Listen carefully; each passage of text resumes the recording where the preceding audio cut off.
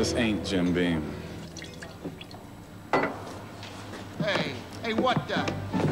Ain't nothing compares to Jim Beam. Finest Kentucky bourbon since 1795.